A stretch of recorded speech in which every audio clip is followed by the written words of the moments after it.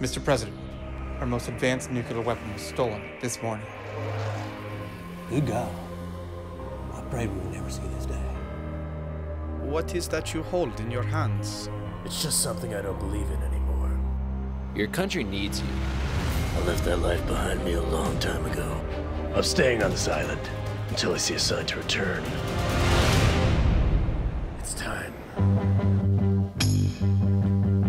Agent Tanner, is there any update on that missile that went missing five years ago?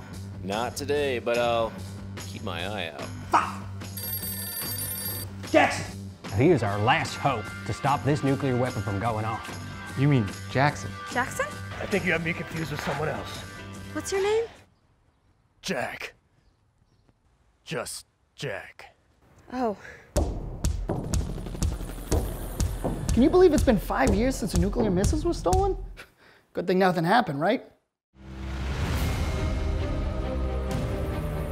Took you long enough to figure it out. Whatever happened in the past doesn't matter. That missile is still out there. Your country needs you. I'm in. I'm in. I'm in. I'm in. Okay, I'm in. I told you I'm retired. How do you turn this stupid thing off? Uh,